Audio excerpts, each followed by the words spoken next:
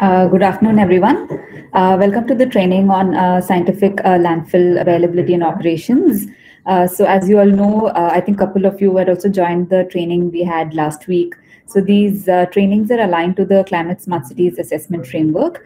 And this particular training, what we're doing is also in association with UNEP, which is part of the countermeasures project. So I'll um, invite my counterpart from uh, UNEP uh, to uh, take you all through a little bit more details on the countermeasures and what this particular project is. Uh, over to you, Shubhi. Thank you, Vaishnavi. Very good afternoon, everyone. Um, thank you all so much for joining.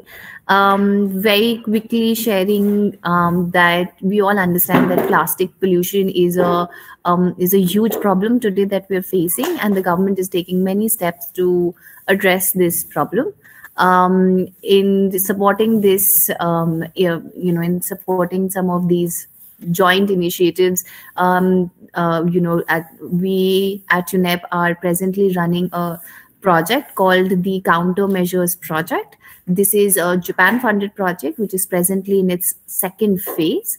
Um, this started in 2019, and the second phase finishes in March 2022. Um, under this project, we've largely been looking at, you know, um, uh, gathering scientific data around macroplastics, microplastics along the Ganges River. Um, and uh, we've been understanding at what leaks um, from which pathways um, and uh, where are some of those hotspots and how do we map them across the plastic value chain um, in addition to that, um, you know, while we're collecting some of this very important scientific data, um, we are looking at the training and capacity building um, for various stakeholders um, so that this uh, scientific data can inform some of the decisions um, of the various stakeholders. And one of such is the urban local bodies uh, we're very grateful to Vaishnavi, her team, and at NIUA for you know helping us uh, scale up some of these um, initiatives and uh, support us in you know uh, sharing these training and capacity building modules um, to uh, um, you know a, a, number of cities. Uh, also, particularly thankful to Nakul, who would also be um, you know conducting today's training.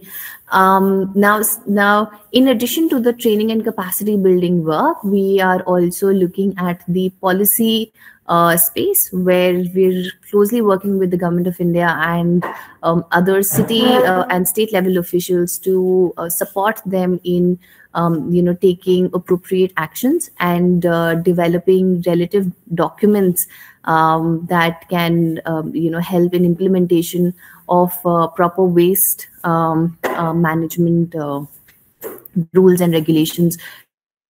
So this is quite pretty much in a nutshell. Um, and um, uh, you know, I'm very happy to share any further information that you'd require, perhaps at a later date. Um, we hope that some of you who had you know joined us in the previous two trainings um, can draw the connections between the the series of trainings that we're doing at the moment um, and um, should there be any questions around, you know, any additional components that you might want to know about, we'd be very, very happy to share. So that's uh, pretty much, um, you know, very quickly from my side. Uh, Vaishnavi, over to you. Great. Thank you so much, uh, Shubhi. So also from the National Institute of Urban Affairs, uh, the Climate Center of Cities that I'm part of, uh, we've been doing these trainings aligning to the Climate Smart Cities Assessment Framework. And the focus this month has been on waste management. So um, I would not waste any more time and I'll invite our subject matter expert, uh, Mr. Nakul Sardana, to take you all through today's training, which is on scientific landfill management. Um, Nakul, over to you. Thank you, Vaishnavi. Uh, good afternoon, everyone. Uh, welcome to this training session being organized by UNEP and uh, NIUA.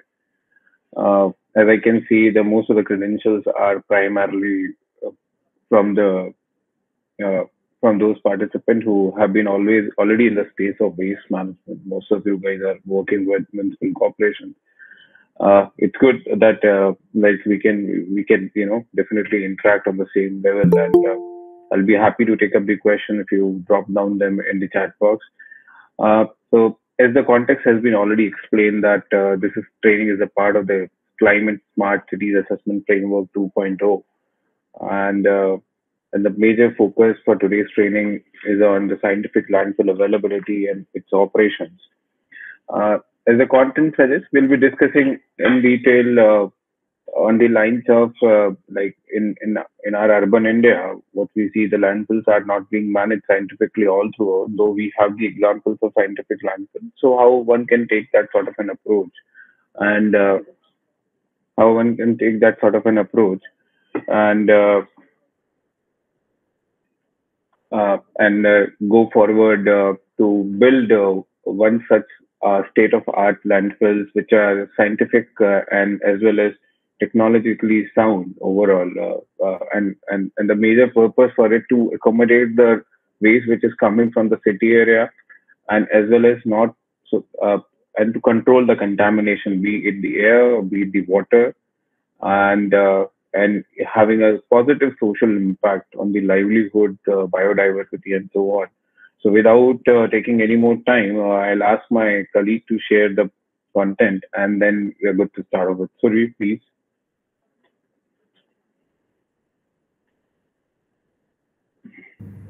Hi, is it visible, Nakul? Yep, we are good to start. Thank you. Uh, so, our, uh, as I mentioned, our uh, today's topic is scientific landfill availability and its operation. Uh, so, let's start with, uh, discussing, begin with this discussion with the waste management. Uh, so, what we see, how it is being generated, how it is being managed. Uh, it's a it's a it's a path through which the waste travel from its source to the as, as a collection, and then it finally leads to the final disposal, treatment, and disposal. So what we what in the collection cycle we we see that collection, transportation, sorting, segregation, treatment, and final disposal. So uh, on the collection we mostly see the primary collection which is being done from the uh, house to house, which which we even call it a door to door collection. Then there's even the secondary one which is being done at the Dalao level. Then the effective transportation, the schemes has improved now. Now we have FCTS, uh, fixed compactor transfer station within the city rather than having the you know open Dalao girls in transportation, there has been a significant improvement. Sorting is coming in place, uh, both at the secondary level, at the primary level too. Then the final treatment and disposal, uh, whether you have a waste energy power plant or a composting facility, RD facility in town, or or if, if not so far, then definitely uh, approaching towards a scientific landfill. Um, when we when we see, you know, uh, on on the side of uh, the snapshot we and, and one of another important focus is the first part is uh, if source reduction when you see in the table in the matrix there source reduction and reuse is a is a habitual part of uh, effective waste management. And rest while you look at the other uh, process component like recycling composting waste to energy landfills those are the part of uh, uh, driven by the technology piece or the process component. This is a quick snapshot of uh, waste generation across India in, in one of the in, in major the metro cities and a typical uh, details available in terms of the waste characterization when mostly we see that the 50% is organic and 50% is inorganic, which inorganic even consists of C&D waste in a non-recyclable waste to recyclable waste. What is the need of the hour at this moment? While we see that scientific landfill and climate change, how they're associated with each other, we need to understand. Let's just fix up uh, uh, the relationship between the landfill operations or having a landfill with the climate uh, change. Uh, landfills emit out uh, uh, waste emits out CH4, which is 85% uh, more pollutant than of CO2. this methane and even the consists of the carbon dioxide, nitrate, water vapor, H2S, which which is is very harmful for the nature. And, and this emission holds for the greenhouse gas, this greenhouse gas emission holds for the accountability of increased temperature of the earth and it even affects the biodiversity, our livelihood, our day-to-day lifestyle. So that's where uh, the waste uh, reduction and and scientific disposal becomes a, uh, a, very critical component to address climate change. It's one of the most uh, one of the consequent of it.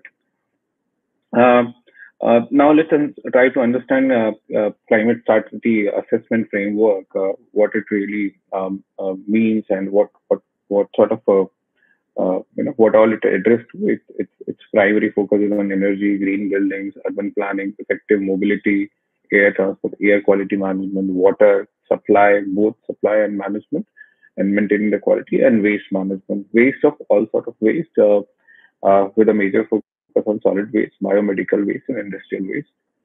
Uh, Uh, and, and, and the intent to have this sort of a framework is to enhance waste segregation at the source level and both at secondary level. When I call it secondary, it's material recovery facilities, which we have started look, uh, you know, finding across the across our major cities, at least in India, uh, that we are not directly dumping the waste uh, direct to the landfill or sending it to treatment cycle while uh, unorganized segregation was always available both at the primary level and the secondary level, but now we see that there has been an institutional approach towards it, uh, wherein we have a processing sort of a plant within the city area, depending on the size of the city and the population as well, uh, where we mostly segregate uh, uh, the inorganic component of the waste, which has a direct sale value in the market, could be plastic, cardboard, glass, jute, and so on ferrous, non-ferrous materials too. And the rest of the material left out goes as a considered as a non-recyclable waste, which which might can be going can be sent to a processing unit. Uh, uh, strengthening towards the C&D waste, we see most of the waste. I mean, I'm, I'm spending some more, little more time on this slide. C&D waste is one of the major components of the solid waste these days. But uh, with the with the improved efforts in that direction, we see the uh, large C&D facilities across India now, which is coming up and uh, defining the dumping points, uh, improvement in the operations helps. And, and last, and one of the major points that we should manage our landfill scientifically with a more technological approach so that, uh, and keeping in mind that they should not contaminate our groundwater or air quality as well. Uh, so waste management, when we talk about the smart city framework uh, and going beyond the climate action of CPHO 2016, uh, so what we get to see is under climate action under CPHO 2016, we will now will discuss on the process that contribute to increase the decline in the greenhouse gas emission. So uh, this can be the factor which contribute and increase that tree harvesting, oil and ore extraction, transportation of raw material from one place to another, manufacturing product which releases uh, greenhouse gases. Uh, am I am I audible uh, by any chance? I, can somebody if you can confirm? Yes, yes, Nakul, we can hear you. Yeah. yeah. Okay, yes. okay. It was a point of silence. I just thought of checking it, and uh, and uh, yeah, and the factors which uh, contribute to the GHG, I mean, which reduces the overall GHG emission, uh, are are in tune with the recycling and uh, reduction in the waste generation. As a result, what we see, the extract more raw material. We should stop. I mean, the extraction of the more raw material and so as to minimize the GHG and rather than focusing more on the product life cycle and so on. Uh, uh, so that's that's again one of the principles of the circular economy, and uh, uh, and and we see that this has it has becoming a practice nowadays uh, in our day-to-day lifestyle too. That uh, like platforms like OLX and many other try to enhance that. That's another another effort to increase the product life cycle in place. So now we'll be moving on uh, primarily on slide nine. Uh, so be, I need your attention here. Uh, now we now we need to understand. Uh, I mean, uh, municipal solid waste and its life cycle. All of us we very well understand that as we are coming from the same space. Uh, there are two ways to look at it. if we have a mixed waste collection, or if I have a separate collection, the mixed waste primarily goes for the transportation. Then there is a sorting of it we get the organic component out of it, inorganic. Inorganic can be treated in thermal plants, or the mixed waste can even be treated directly, for that matter, in an incineration unit. But if we segregate, that's better. And then RDF, which is called as a green fuel as well, goes for the thermal treatment, able to generate good specific amount of energy. RDF calorific value we see around 3800, 3200 to 4200 specifically in Indian RDF content and the bought out items are ash and where in the separate waste i mean we it directly goes to the where the waste is segregated goes for the mrf and biological treatment for the composting be it aerobic and anaerobic. I'm sure that you guys all of you are aware that uh, mr modi recently inaugurated asia's largest biogas plant which was based on the segregated waste. And indore has that uh, uh, you know, has that reputation when it comes to waste segregation at the source level. Uh, discussing it further, uh, I would like to uh, a life cycle assessment and waste management. The arrows you see in the green uh, are, are primary two T. The uh, the two uh, key component: recycling, collection, and reusing. Uh, so on the on the arrow you see is primarily on focusing on the you know composting, process losses, open loop recycling, uh, closed loop recycling. Where on the blue, what we see is the process involved in waste disposal and treatment. Uh, it, it could be lost to environment, landfilling, incineration, or energy recovery collected for recycling. Uh, that's how the overall circular process and life cycle of the waste looks like and the waste management. IT plays, as it's playing it's a very important role in all the spaces of our lives, so as it is playing in waste management. We have different life cycle uh, life cycle assessment tool. We have RFID installs. We have a smart bin system in place. GPS has been in uh, the space since last more than 10 years now. There's a closed circuit camera to uh, to supervise the operation. Uh, app control based city waste collection system and and we see that it's it's it's majorly happening across in the, all the in the metro cities and the tier B cities. Uh, uh, now, uh, so from here onwards, we'll be spending some more time on the slides. This was the context. I was trying to set the context about the waste management, its life cycle, from where it generates, what we are, what, what we are supposed to do, what is the connect between uh, climate change and uh, uh, waste management. And now uh, today's topic, as we as, I, as, we all have mentioned before, that scientific landfill and component. Uh, landfills are typically what are the type of landfill? Let's start with that. Uh, it's based on the solid waste, industrial waste, uh, industrial waste, uh, majorly C&D waste, and then hazardous, which we see across industrial area. We have a major name in that because of Ramky, or of Hindustan Zinc and so on, and then of green waste. We don't see the green waste landfill so as but it's a dump site which converts the green waste into composting. If it's a, if it's a relatively higher size, we even call it a green waste landfill. Uh, type based on the technology, it's a basic landfilling, engineered landfill, and bioreactor. I'll explain that in the uh, in the coming slide. A typical cross-sectional detail of uh, a landfill, which uh, co uh, which covers the uh, monitoring wells for the groundwater monitoring, gas extraction unit, different layers there, and what is the cell approach to fill it, and so on. Uh, what, let's let's understand the difference between basic landfilling, engineered landfill, and bioreactor landfill.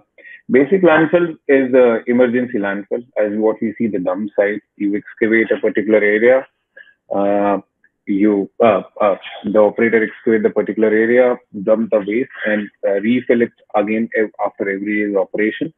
Uh, this sort of a site always are with the common consensus of the local body or uh, or the or, uh, or the or the population nearby, and it is advised to have a fence site and and should be at least one kilometer away from the common nearby dwellings. Um, engineered landfill, as what we mostly see, the sort of a tenders which municipal corporation releases in India. That's one of the most common type.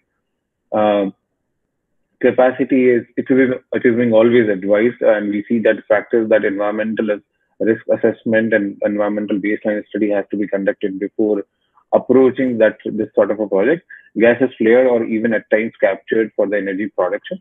Bioreactor landfills. Uh, uh, are you know uh, are those where we basically focus uh, on uh, faster treatment of the wet waste, acceleration of the biological process using some inoculums, compounds, catalytic activities, and uh, we even uh, promoting condition necessary for the microorganism, as we mentioned that we use uh, external agents there, and and there is a high yield of gas which is being captured for these landfills because a control in a controlled uh, reaction, uh, all the all that being monitored, and you get a high yield of the methane out of it.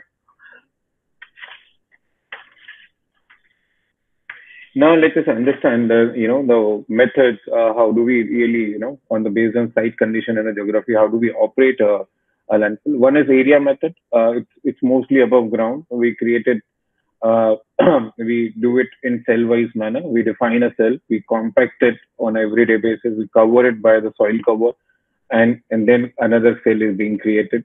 While uh, there is another method, uh, uh, we see there are three methods. So the second method is a trench method. We defined a particular trench. Trench is a uh, uh, under the ground, below the ground, and a particular what what do I call it? Right, a, a lane is, or lane is defined where we prepare this trench and build the fill up the material.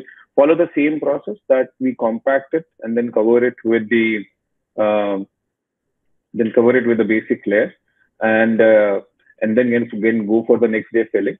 Um, so the trench keeps on filling by the time it reaches to the design height. Um, and uh, the last method, uh, uh I should say the ramp method is uh, which is a mix of a trench and an area method, the cell method above ground, which do it. Uh, a waste is spread and compacted uh, on the existing floor. The cover material is excavated directly in front of the waste. Uh, so covering material keeps on coming. So you you you excavate it, use that material and, uh, uh, and to cover the spread uh, waste. Uh, it could be a daily waste. And at times we even decide on operation that the covering shall not be done on everyday basis, depending on the availability of compact, uh, availability of covering material and the lead time of it. So at uh, even in city area, we see that uh, if the landfill is a scientific landfill or engineered landfill, we approach it in a way that we cover the material after every three days. Uh, um, so most of the operations which are designed here, I mean, uh, gets a new flavor when it comes to monsoon. We we need to be very diligent in that time period.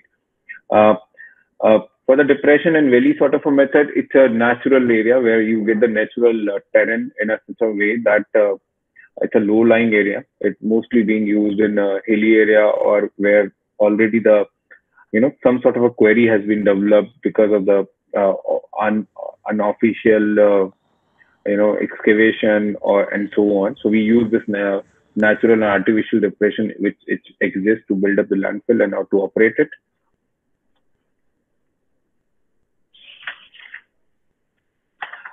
so the design consideration when we see it uh, we we primarily evaluate uh, while designing any scientific landfill we talk about uh, uh infrastructure facilities uh, uh, landfill capacity and life. So any thought which when it comes to landfill design, it primarily begins with, as I mentioned, baseline environmental study, and then the existing infrastructure facility, we define it. We design the landfill, we define the capacity and life. Uh, availability of land is one of the major point too. so in India, it's most of the time backward integration. We have land, say, of 10 acres. How much for how long it will be able to serve the city. At times, the landfill tenders are five years, at times, they're of seven years. In the integrated contracts, they are even of 20 to 30 years as well. If we see uh, in the scheme of JNRM 1 or both and 2.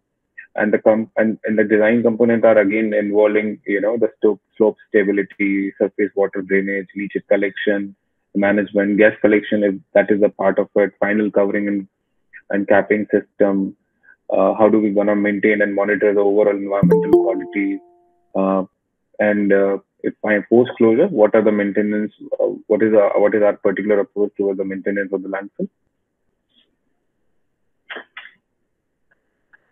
So site selection criteria, uh, uh, as we all are aware that, and I'm well informed on this, as per the 2000 MS16, 2016 MSW rule that it should have a uh, I'm, I'm not uh, reading out the numbers. Uh, it should be uh, have a safer distance from the lake and any water body from the river. It could be river. Uh, should not be there in the floodplains. Should have a minimum distance of 200 meters from highways.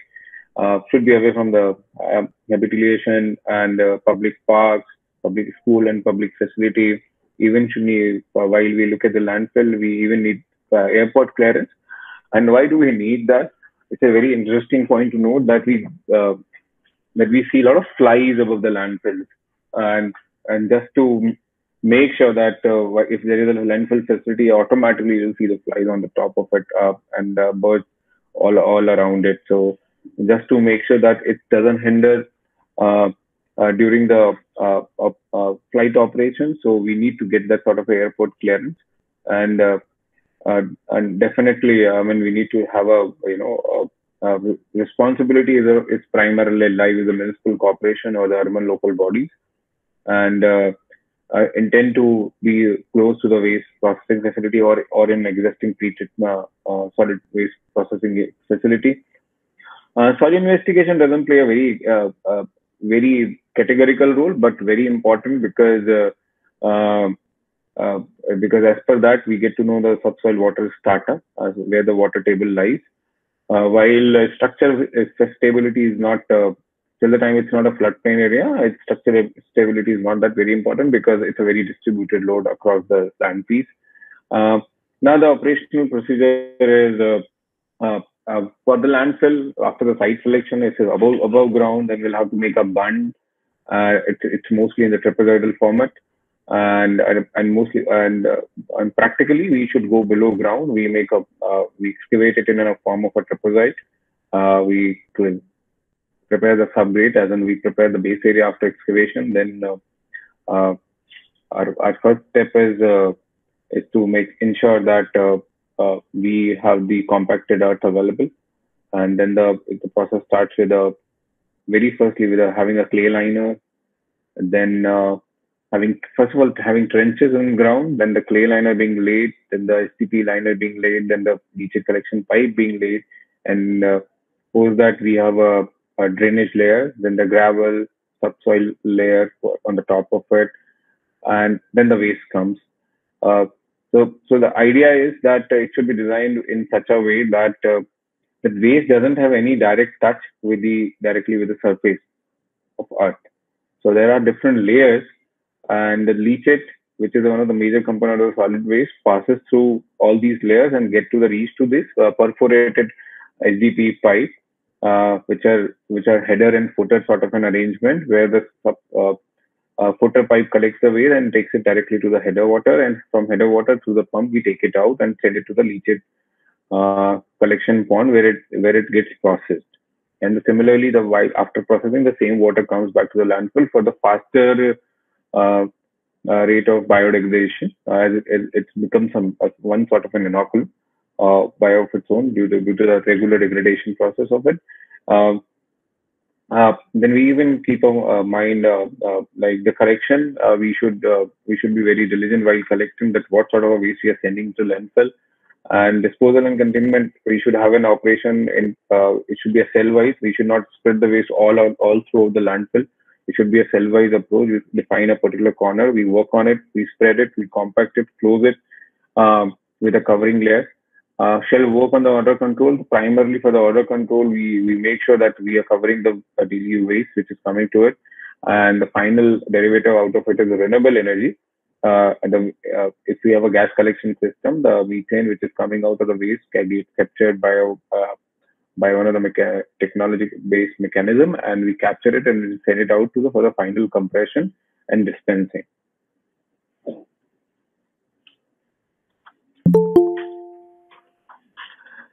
So uh, this is a typical, uh, uh, you know, one of the section available to understand. Uh, so we can you just large one of the pictures on the left hand side. Yeah, zoom in please. Yeah. So what we see is uh, there is a leak detection system in place, primary leachate collection pipes, slope cells upgrade. Why the slope is being maintained? Because so that the water can flow and reach to these pipes. And uh, uh, uh, and leachate collection pipes are available. Liner system, as I mentioned, GCL, geosynthetic clay liner, or we use the direct clay. And then secondary liner system is SDP, geomembrane, and so on. Uh, on the right hand side, we have a, a gas. Uh, we it's it's an identical example of the gas uh, collection. We have, through the liner system, there's a gas extraction wells. There's a header pipe on the top, uh, and so through that, there's a closed by leachate plant and LFG gas flaring unit or uh, gas capturing at a particular temp, uh, pressure of fiber. It can be compressed and can be filled in cascade. Uh, it's advisable uh, for the biogas either we use it directly just for the for the for any of the kitchen purpose or if you want to if you want to use it as a bio CNG then uh, it is advisable to have a gas upgradation system in place. Uh,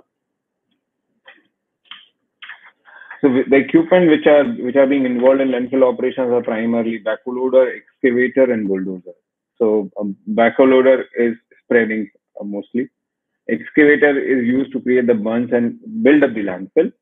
Uh, at times, excavator we even see excavator at landfill site. Why? Because JCB is very much prone to the getting punctured and regular maintenance, where excavator is such a robust equipment as it works on chains so that you don't have that problem of getting puncture every day because if you it's a very heterogeneous mix in especially indian waste so you're not sure what's coming in.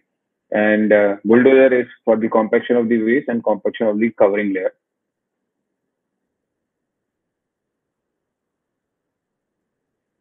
So scientific lenses, so uh, what are the advantage? Uh, it's uh, waste treated uh, during disposal in a much scientific manner. It's a controlled extraction of a methane gas that can be used as a uh, renewable energy uh, for multiple other purposes.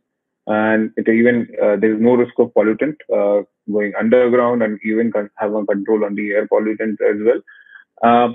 And it has a social impact too. doesn't really, if you have a scientific landfill, the city real estate would be always be considered as a favorable one. Otherwise, uh, if you see across the landfill sites, the real estate are real estate rates are always down and keep on struggling in that part. So now we there is an incentive. If you look at the example of Indore, Surat, Bhopal, uh, effective waste treatment has added. Uh, uh, yeah, like clean cities are blue white cities for every society and uh, and that we see finally resulting in the financial numbers, a day-to-day lifestyle of the people who are living there.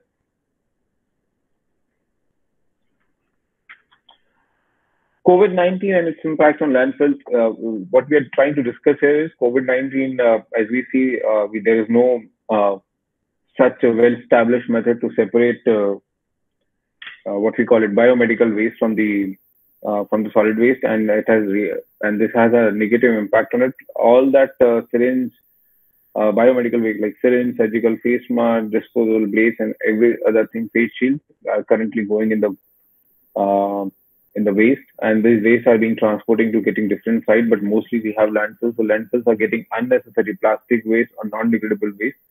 Uh, and it has increased the increased the overall uh, daily transportation capacity. Uh, wherein uh, it has a negative side too because such things doesn't get uh, you know decomposed at site level.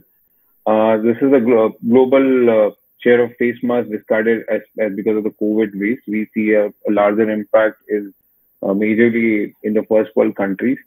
Uh, we even lie stand on second uh, parameter to it, the green cover, India, and the majorly we see in uh, in Canada, uh, South America, even in Australia, some of the South African countries too. Emerging trends, what to look for in 2022, something really interesting, what uh, information technology will will definitely add uh, uh, you know uh, uh various ways to aid in waste management. Uh, uh, composting initiative, this is a decentralized approach or at a very household level. this will become a, a, part of a regular program of the IEC activities as well. we'll definitely look forward to find out more ways to address plastic waste problem. Can be used as a high quality resin that will replace the current greenhouse gas emission uh, prime resin that is used in the plastic industry. Uh, we'll try to find out more ways to generate energy out of the waste. Uh, recycling industry will grow and it will support the waste to energy uh, uh, uh, it, it, will support and keep keep on putting the pressure on the WTE plant because if you are recycling heavily, then the WTE plants are not uh, are not in tune with their calorific value because the most of the recyclables has a higher calorific value. Uh, uh, there is a there is a prominence that uh, uh, government and local bodies will keep promoting WTE unit, but now the intent is to have a RDF based incineration unit or the bio CNG units. Um, packaging and sustainable packaging will change the recyclable industry, and the last point, uh, solution will include thermal ones. Uh, incineration, pyrolysis, gasification is coming into space now, and that has been discussed on a larger landscape too. So one of the case studies for the landfill design, the, the city area is located, uh, we're talking about Pune city, and uh, as we all understand, this case study is primarily the Pune city has been able to address it, uh, has moved from the um, basic landfilling or dump sites to towards the scientific landfill site. Uh, we are trying to map where the rag picker, the informal sector is involved, which we need to make it a formal sector, bring them in a mainstream of the society. And, and the way it has been done is like waste primary collection transfer to the ward bins. We have a 1.2 meter cube of bin or 1200 liter bins. And then the ward collection centers, we even call it nowadays FCTS or a transfer station. And then from transfer station, it's being sent to the landfilling or the, for the processing. And from processing, whatever is being left out has been sent to the uh, landfill. So, uh, what has been done, uh, where we see the mapping of the rag picker uh, towards the towards different processes. Uh, proposed methodology, what we modified design for the landfill is uh, it, it has been de developed in a very integrated approach toward the waste disposal and energy generation both. This can be applied for the new landfilling. What we are trying to say here is that earlier it was a, a, a process where we were dumping just dumping the waste, but having a scientific landfill in place and start capturing the gas makes it more technically, uh, technologically sound and financially viable too. And uh, uh, it even keeps that area particularly clean and keep adding the premium in the real estate of that lo- uh, of the of the uh, of the uh, lo- of the local area. Um, and and this even helps in understanding and characterizing the waste. What sort of waste should go to the landfill? it's not advisable that we keep disposing of and filling of the landfill with a wet waste, it's not advisable. We should have a we should treat them at, at a very lower level through centralized uh, or a decentralized approach, and uh, uh, and uh, uh, it overall, uh, you know, look if you look at the overall number of the energy which can be generated through, through bio CNG, bio CNG, it can effectively manage. We can effectively manage six point seven 6% of India's gas need if we start uh, treating our wet waste scientifically uh, using anaerobic digestion units. Next case study is of Ghana. Uh, similar to what we are discussing, uh, uh, but in Ghana, uh, uh there was it was purpose of this study explore to landfill operation activities in Ghana. Uh, in especially in uh, the South African continent, waste management has recently started and the city was generating around 20 to 2000 metric ton of the waste on an everyday basis. And collection was around 70% of the total waste generated. Uh, it is the third highest, third metropolitan area of where where we see the waste generation and the disposal. Uh, what uh, and the resultant discussion was primarily around the type of equipment used at site to, to improve the operation of the landfill site. The waste reception was being improved, deposition as in how to uh, how to deposit and, and in terms to build up the cells of that, site management, litter control, dust control, surface water and leachate management, all that as what we discussed in the past was being uh, kept in mind while uh, uh starting off with a new way to have a landfill operations. Uh, conclusion as in uh, like uh, as we discussed the conclusion for the every scientific approach will more or less be the same i mean uh, in terms of environmental impact social impact and uh, local administrative impact. Uh, it, it if you have a scientific landfill it's simple that you get the get the gas order is controlled the site area is developed city has a better life and even rag pickers have a you know they, they become the from the informal sector they become the part of the formal sector. Operator is is has started making sense. And uh, that landfill that particular land in india land has a highest cost. So if you just fill it by something which is which can which can have a direct resale value be for that from the inorganic waste or uh, talk about organic waste treatment where you can generate methane out of it or compost so it's advisable that uh, having a very close eye on what is going to the land.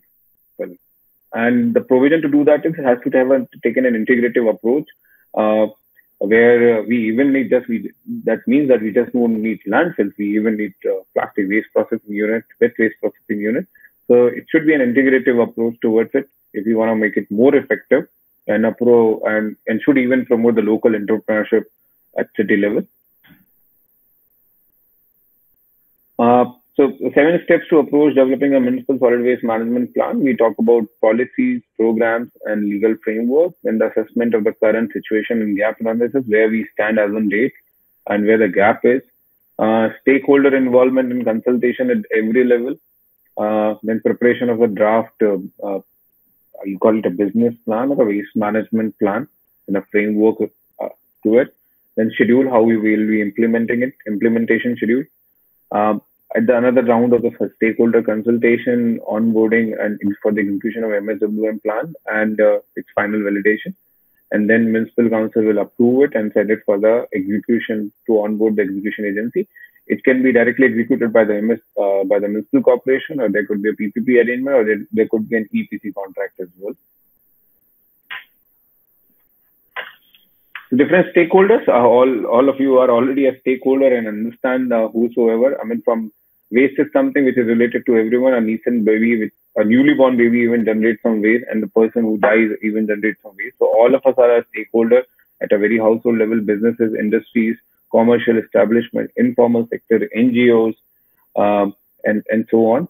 And while on the top, I mean, it's from the go- complete government machinery, town planners, uh, accounting and financial, treasury, everyone is involved. Whosoever is participating in funds from the till planning the project.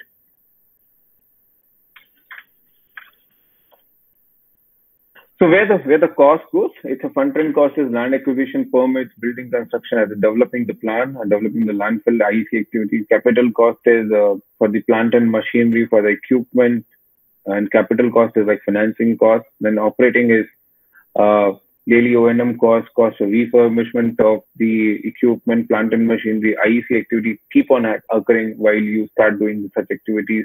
Back-end cost is site closure when you're finishing it up, building and equipment decommissioning, you take them out, there's a cost in that too. Retirement health benefits of the current employee, which are getting relief from that project. Uh, contingency is uh, again on the remediation, liability costs like property damage, personal injury, injuries, site level injuries too uh, environmental cost, the cost involved in mitigating the that adverse effects on environmental uh, cost of implementing plan and downstream of the impacts too. And social costs is, I mean, it, has it been able to improve the quality of life? So there are different way to measure it, but these are the overall, uh, you know, uh, costs which are involved. It could be, but it's not to be a cost. Maybe such thing while you look at social cost could be a positive number too, where if we have been able to do it time more scientifically, it becomes a positive impact as well. That cost has a positive social impact. Fund sources. Uh, so to begin it, uh, I'll explain that very uh, in a very layman terms. So it starts with the central government mostly funds the program which are happening at the state level or the municipal level. Then there are state government grants and state government funds, and the municipal government funds. Uh, the major funding comes from uh, different development banks too, ADB, World Bank, African Development Bank, and so on. Then there are loans from the banks mostly. We we yet don't see that it's it's too easy to get the loan for the waste management space because we don't have that large success stories. And then the private equity funds are investing such projects. Then we have a organization like CDC, FCDO, which are pro to develop, uh, which has an intent to develop such sort of a business in developing uh, developing countries, which has been still struggling to fix up on their basic needs, and uh, and and then the revenue streams, what you are making out of the business, the selling compost, energy, and RDF, and so on. Something very interesting. We talk about zero landfill. Um, how do we achieve that? Then the basic, um, I would say, is like you start tracking your waste what define what zero waste means. And then you'll have to recycle every other thing around what you see. and keep a very close eye on even your waste generation of every day. Uh, as, uh, and try to reduce whatever it can be, whatever it can be reused within your household. Engage with community, have a dialogue with them, strengthen the partnership among the community, among the different stakeholders. Uh, regulatory framework should be very uh, is a very important uh, uh, step too uh, improvising efforts on both on recycling, reusing, and every other best practices even involve the best of the technology.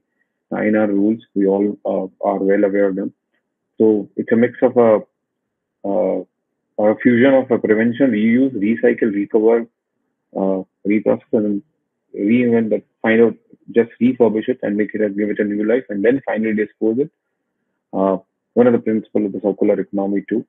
We'll move to the last slide now.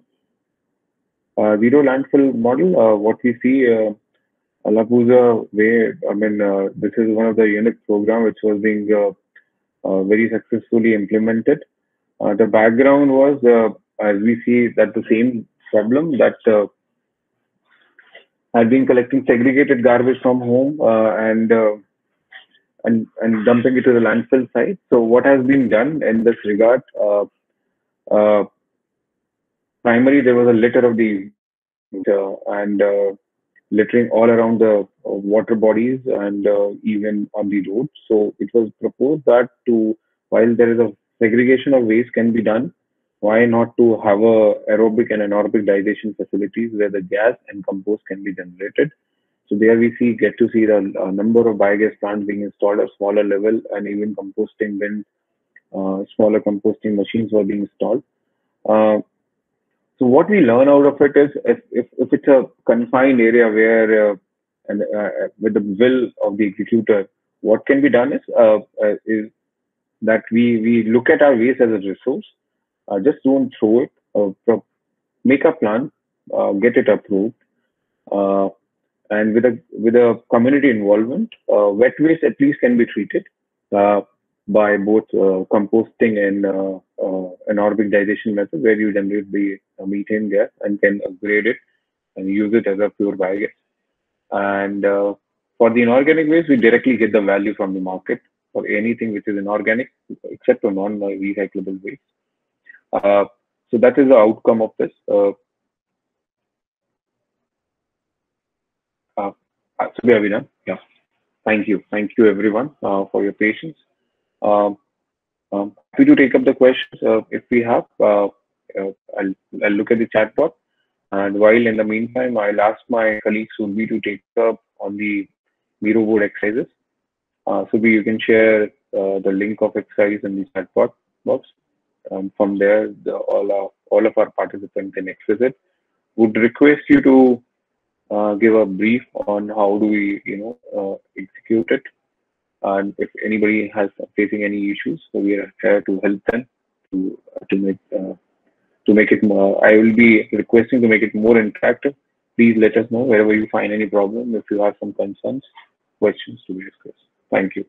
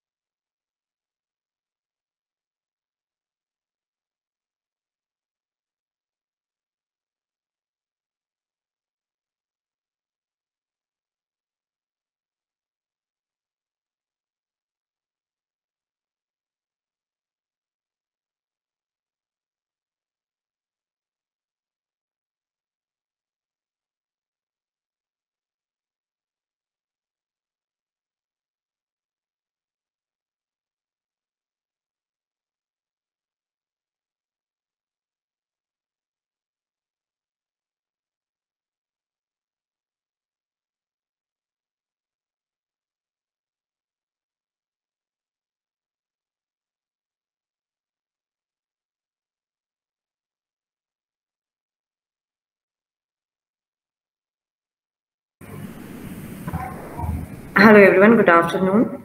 Uh, we would request everyone to join the Miro board through the link provided in the chat box.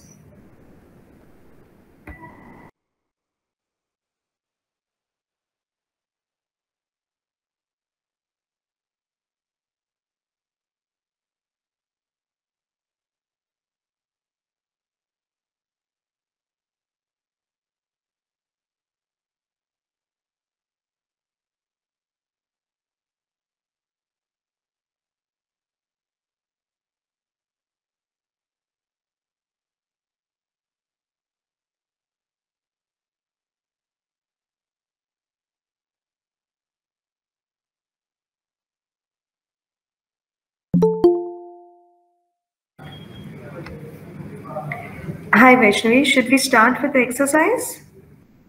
Yes, yes, please proceed. Yeah. All right, thank you. Hello, good afternoon, everyone. So as you can see in front of you on the Miro board, this is the first exercise what we are going to do. In this particular exercise, we are trying to look map what kind of landfill is available in your city. The examples which you can see in front of you are uh, the the green one is representing that we are not aware of what kind of landfill is there in my city. The second one is an open dump yard. The third one is a controlled dump yard. The fourth one is a sustainable landfill. And the last one, which you can see in the gray one, is an engineered landfill. What you all have to do is you need to take this blue uh, dot and drag it to the respective landfill which you have available in your city. Like, for example, the way I have done uh, for the open dump yard. And then once everyone is done, uh, we'll conclude this exercise.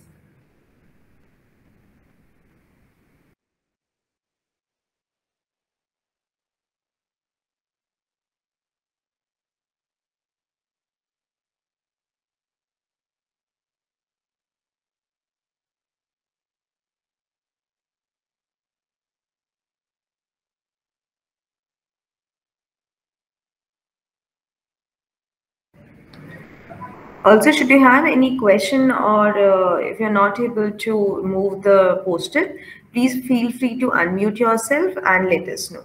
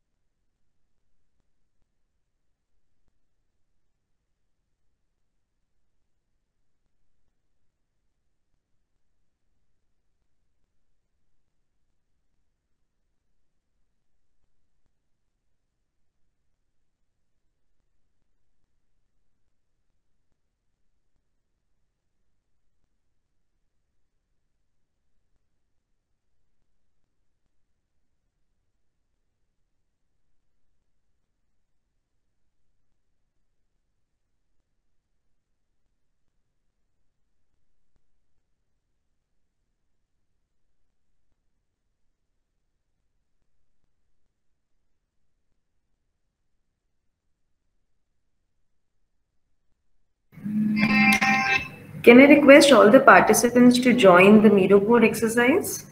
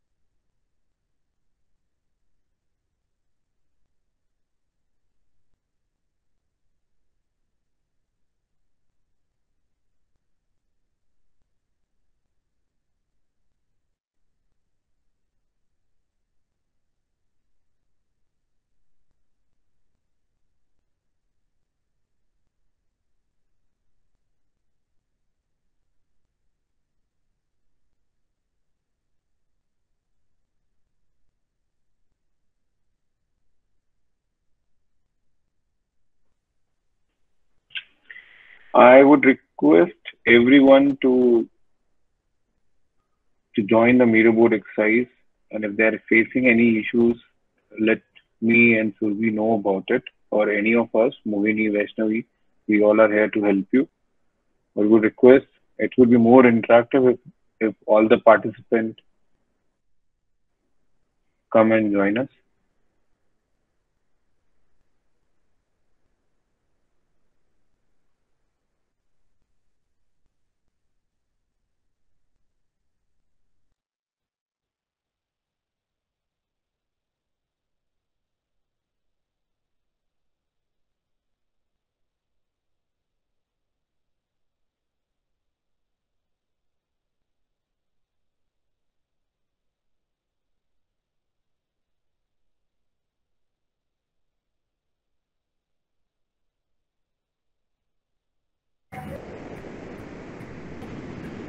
Well, I believe uh, most of the participants has marked their option as open dump yard. If they, uh, we'll spend another 30 seconds on this exercise and then move on to the second one.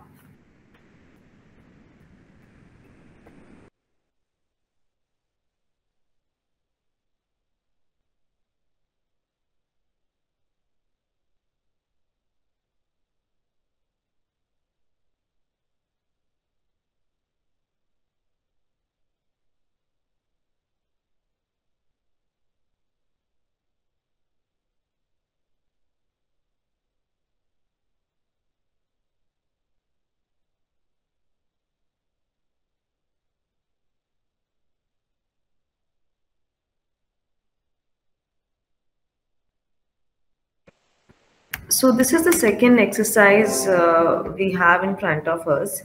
In this exercise, as uh, Nakul has also explained uh, in the presentation, what you all need to do is to mark the layers of a scientific landfill from A to K.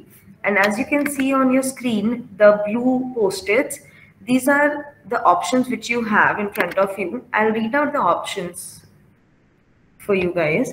So the options which we have in front of us are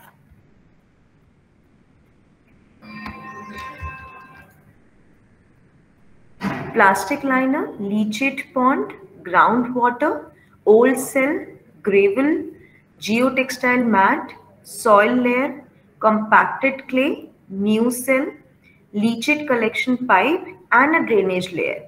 For example, if you think that in A, should be groundwater. So all what you need to do is pick this post uh, post-it and drag it to the box A and respectively do the same for all the exercises. Please let us know should you face any issue in between. You can unmute yourself or write on the chat box.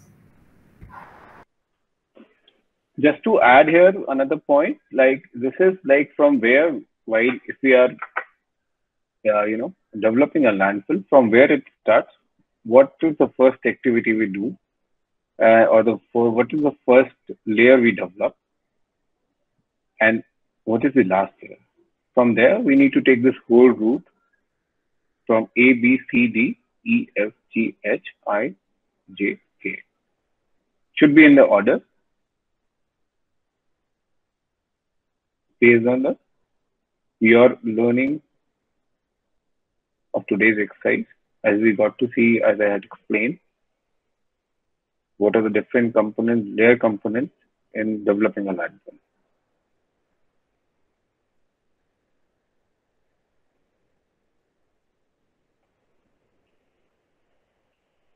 The participant can even unmute if they have any question or preferably they can uh, they can put their question in the chat box.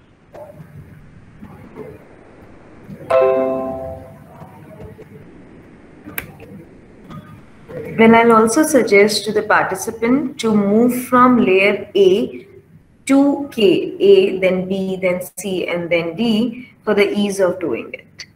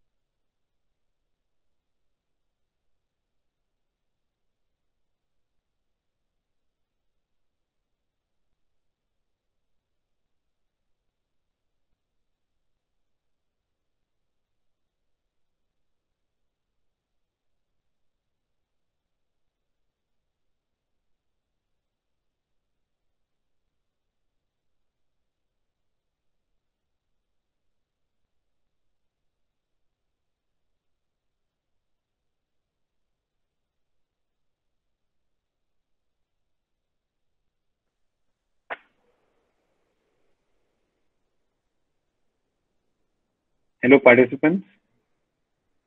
Uh, if shall I? You, if you guys are done, I can tell you the final sequencing and answer of this exercise.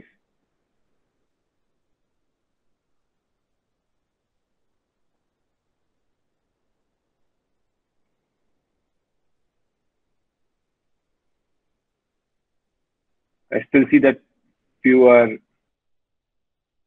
still working on it. So I'll wait for another five minutes.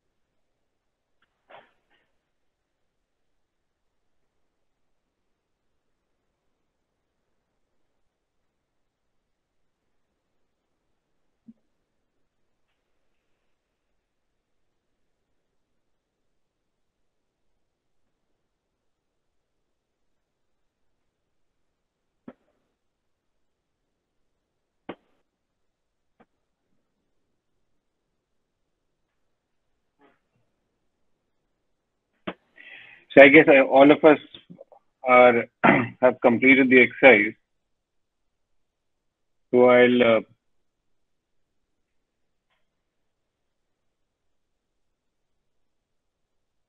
I'll in a sequence I'll announce the correct order. A is groundwater, B compacted clay, C plastic liner, D leachate collection pipe, E geotextile mat, F gravel, G drainage layer, H soil layer, I old cells, J new cells, K is leachate pond.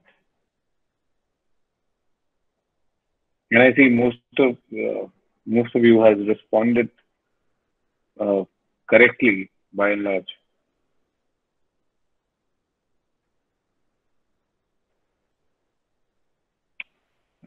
Surabhi, I would advise you to explain, we can move to the next exercise. You can explain that once and then we can take. All right. Thank you, Nakul.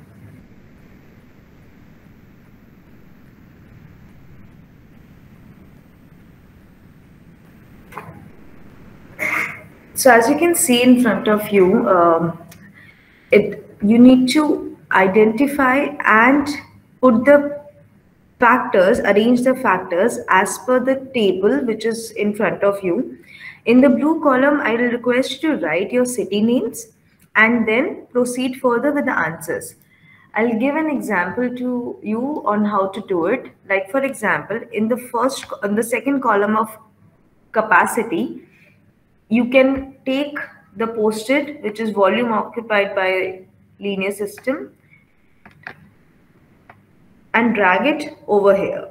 And here in the city name, you can write your edit and write your city name like I have done for myself and then proceed. Do you have any question in between? Please feel free to unmute yourself.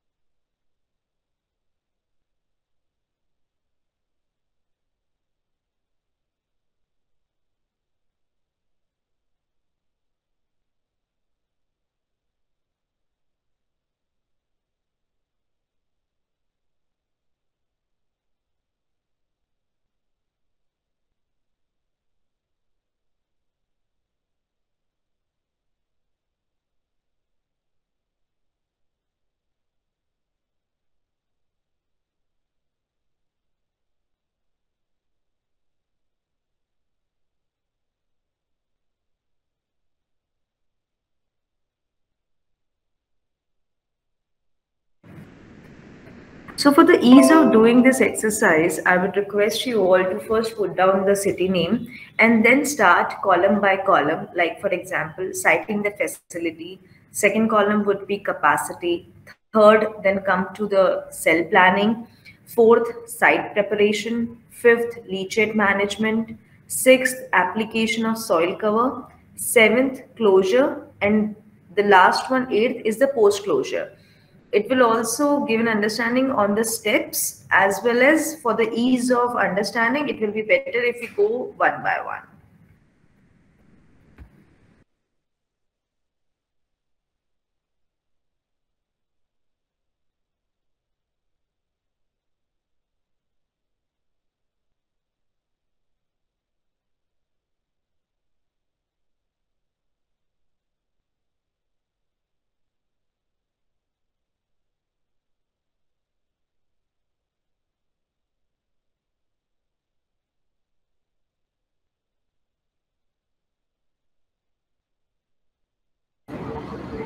So, Ruby, approximately how many uh, factors do we have for each of these steps?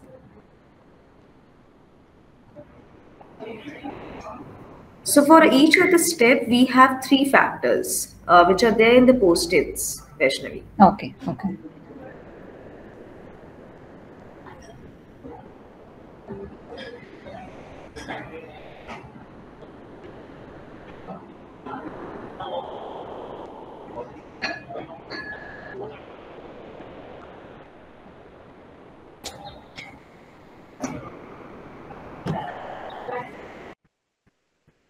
For the eighth parameter, which is the closure for the eighth criteria, there are only two factors. And for the rest, there are three factors which are written in the post-its. Uh, could I request you to maybe uh, mark the first one, the siting facility, uh, just for the ease of understanding as to what is it that we have to do? If you can mark all the three factors. Sure, Vaishnavi. I'm marking in the first one.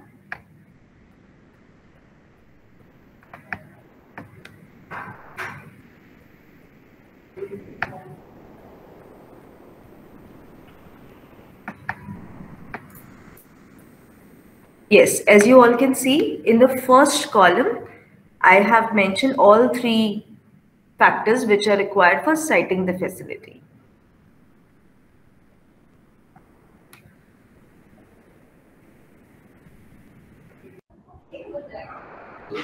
So those factors are water table to be uh, two meter and below. Uh, any habitation shall be 200 mm away from the landfill site and that the proposed landfill site should not be a part of floodplain in the last 100 years.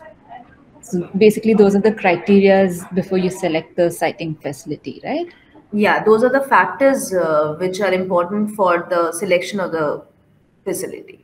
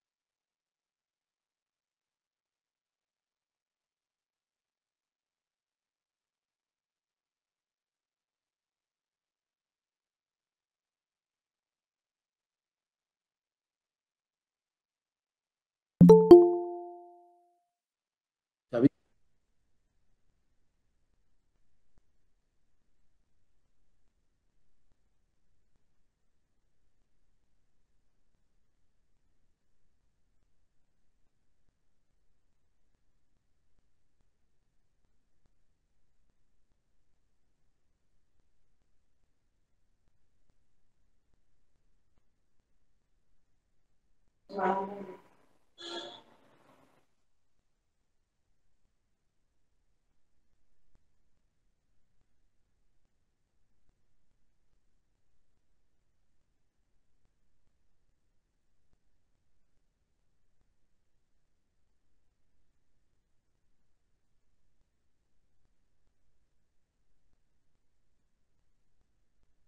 말하는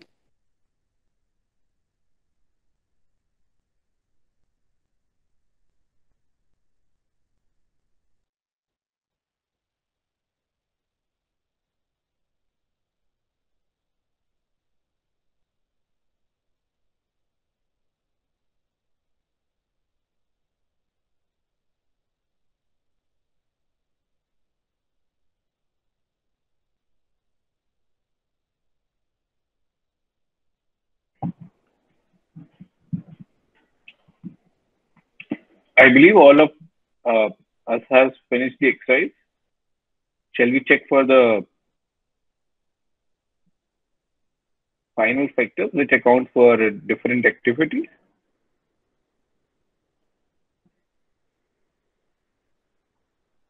Vaishnavi, are we good to go ahead?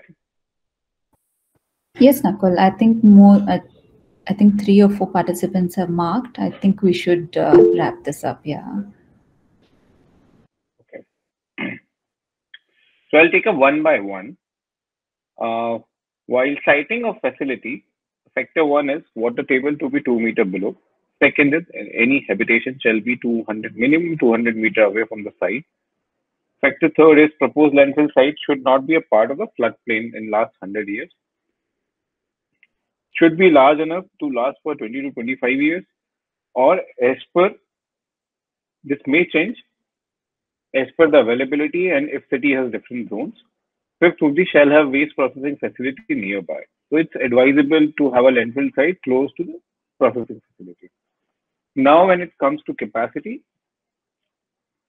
factor one is volume occupied by the liner system. Second is cover material, daily, interim or final cover and compacted density of the waste. Third is amount settlement waste undergoes due to overburden stress and biodegradation. Cell planning, develop it cell by cell as a factor one. Factor second is a working area is confined to smallest area possible. Disposable only at a designated cells.